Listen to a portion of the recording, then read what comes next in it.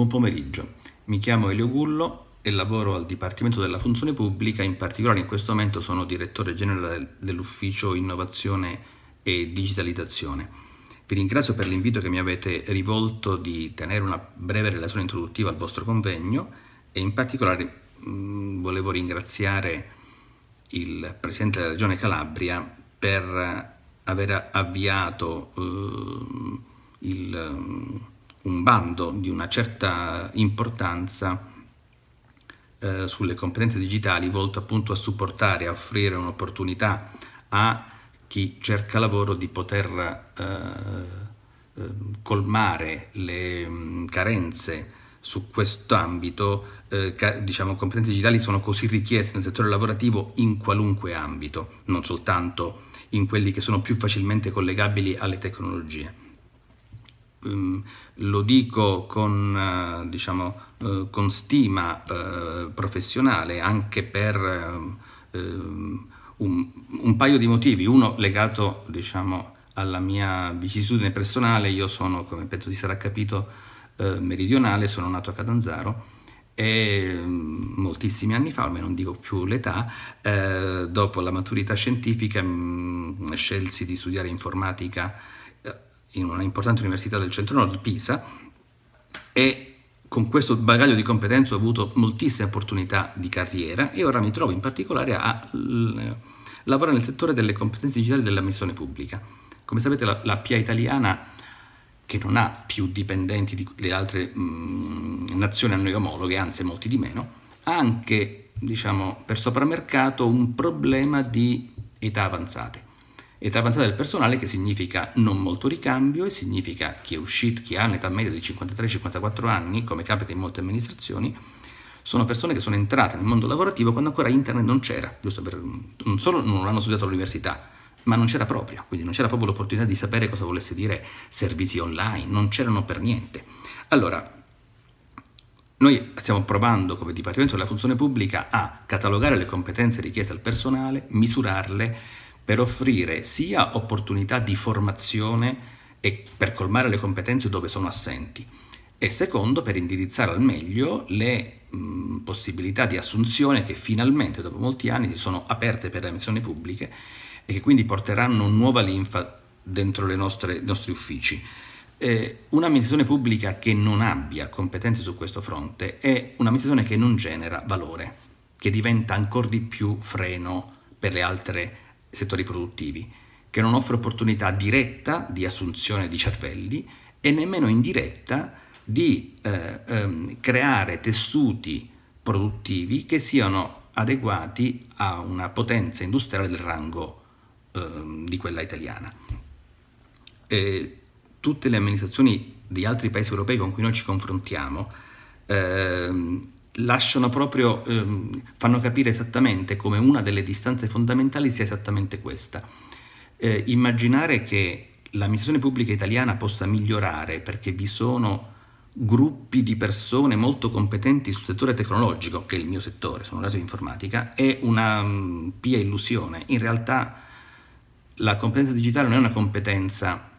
di settori esclusivi di esperti. Gli esperti servono in parte, in realtà è una competenza diffusa. Tutti noi, dal mattino quando ci svegliamo alla sera prima di andare a dormire, utilizziamo costantemente dispositivi e utilizziamo strumenti e servizi digitali. Ce li abbiamo eh, in tasca con lo smartphone, eh, appena andiamo in ufficio con il nostro computer o a casa con il tablet, quando utilizziamo i nostri televisori stiamo utilizzando strumenti digitali, costantemente digitali, il eh, navigatore elettronico sia sullo smartphone che sull'automobile e la dimestichezza che abbiamo nell'uso quotidiano di questi strumenti in realtà deve, non, non, deve far immaginare che sia una competenza richiesta a pochissimi specialisti. Per poter immaginare servizi eh, allo sportello, servizi di prossimità, eh, servizi di supporto ai disabili o altro, servizi sociali per esempio, non è immaginabile che siano necessarie competenze verticali in quegli ambiti ma non digitali. Voi immaginate una cosa molto banale, immaginate un, i servizi sociali alla persona svolti eh, presso l'abitazione di chi è in difficoltà da un assistente sociale Uno potrebbe dire, va bene, mm, avrà studiato quello che ha studiato, cosa deve sapere di digitale? Beh, mm, esaminiamo cosa fanno anche alcune realtà virtuose nel nostro paese, ma in altri ambiti, in altri paesi. Ho avuto di recente un, un incontro con un'importante società eh, statunitense e mi dicevano che appunto nel, in Australia per diminuire il tempo per certificare lo stato di disagio sociale che vi sono in alcune aree del paese e dedicare più tempo al disagio sociale e meno tempo alla burocrazia a fare carte, l'assistenza sociale quando si reca presso un appartamento per verificare, sono alloggi popolari dati a, a popolazione in, in disagio, tra virgolette, l'assistenza sociale si reca presso l'appartamento con un tablet, entrando nell'appartamento col tablet stesso può fare delle fotografie per capire se vi sono difficoltà anche dal punto di vista abitativo, dopodiché fa una piccola intervista con la persona, il genitore di un disabile potrebbe essere o la persona stessa che è in difficoltà, magari anziana, per evitare di perdere qualunque battuta la riprende mentre la sta intervistando e sul tablet ha una checklist che può facilmente utilizzare per stendere una piccola relazione. Uscita dal, mh, dalla uh, seduta che ha fatto presso l'appartamento dopo un'ora, un'ora e mezza,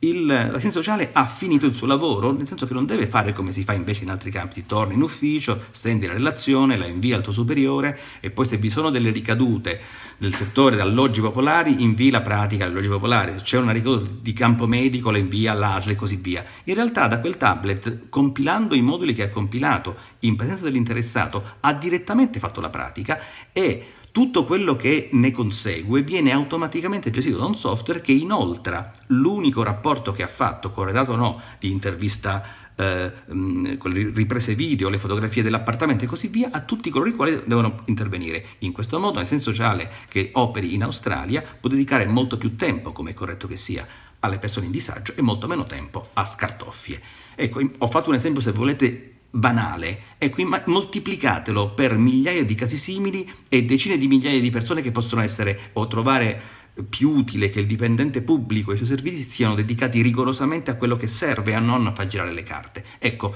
ehm, è, è, il modo in cui io trovo più facile, se volete, per dire cosa significa competenze digitali, competenze di tutto il personale che devono poter utilizzare con facilità gli strumenti esistenti, opporre poca resistenza al cambiamento. Il cambiamento deve essere agevolato, favorito,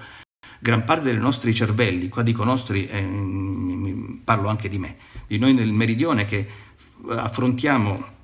sacrifici le nostre famiglie in particolare per studiare e non trovare eh, lavoro nei settori dovuti e dover andare via, in realtà depaupera eh, di energie e di risorse anche per il cambiamento, per cui è molto importante che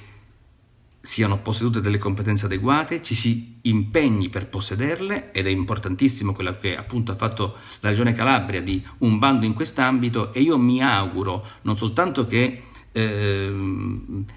abbia molto successo il bando in assoluto e, e sia possibile tirar fuori il massimo dell'occupazione, ma che quella trovi spazio e posto nella nostra regione e nella mia regione dove amici e parenti, nipoti, dove spero sia possibile per loro fare quello che a me non è stato possibile, ovvero di studiare e non riuscire più a ritornare. Mi auguro che invece vi sia una possibilità da, questo punto di vista, perché fortunatamente la ferrovia possono impiegare molto tempo ad arrivare in Calabria, ma il digitale annulla le distanze. Quindi avere personale e, e competenze e professionisti in grado di operare in quest'ambito in molti casi può annullare distanze e può agevolare l'insediamento produttivo e l'arrivo di investimenti stranieri. Intanto vi ringrazio e auguro a tutti un buon proseguimento dei lavori.